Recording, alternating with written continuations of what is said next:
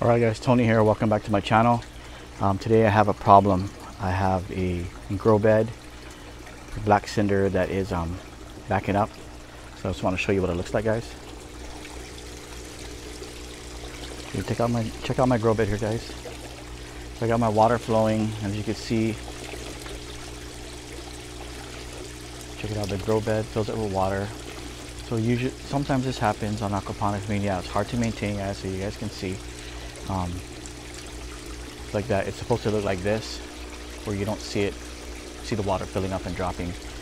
Once you look down, so here's my drain for the grow bed. Now you can see the drain is constantly flowing. The water is constantly flowing to the drain. So what I do usually here, guys, I take a, I have a stick. I take, I have a PVC stick. It's pretty long, and right here's my siphon. So you can see my siphon. So what I do is I take the stick and then I push this through. You can see. Push it through and then like aim it at that siphon area. Stick it around and then you can go ahead and put some more through. Then you can also move around the grow bed like this. So you gotta do guys. So you're gonna break some of the roots up and allow the black cinder to clear up a little spot so that it can go over to the siphon area. Okay, see, just make sure you don't hit this siphon right here. Make sure you don't hit the siphon and break that.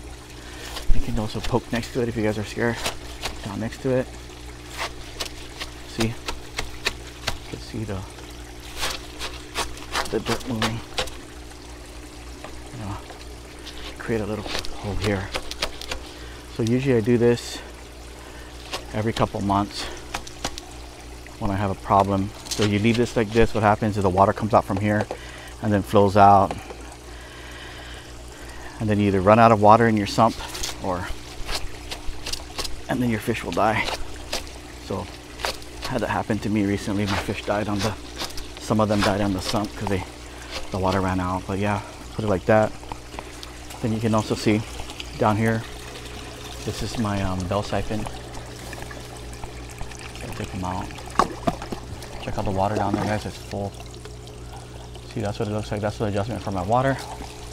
Here's my bell siphon I have. Made this. You guys check out my other videos for bell siphons. So what I usually do is I just, so you can see the water's dirty now. So I take this up, fill it up, and bring it over to the bell siphon. And then I just put them right down there. See that? Once I did that, you can hear it's all like trying to flow out. See? The water in the siphon all went down. See that? Now it's draining. Check out my water down here. See it's drying up. Then also you have your flow here. So if it's too fast, guys, just lower it down. I recommend every week you just go here, see how it turned it off.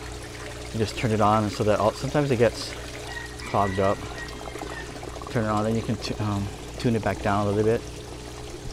Same thing with this, look, see it's flowing really slow.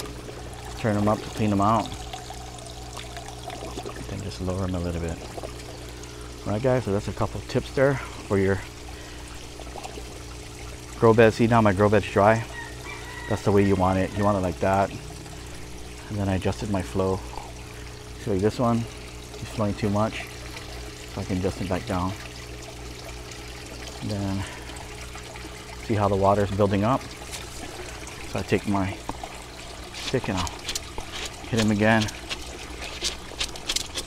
Try to make it go that way toward the bell siphon. Make little slots in the black cinder. I use black cinder. Found that it works really well. It's because the um, clay balls are pretty expensive. I don't know, I think they're like $30 a bag. Black Cinder is only like $6 at Home Depot. And video's not sponsored by the way, guys. That's it, that's what I do. See the water's draining now. Then over here the water drained down.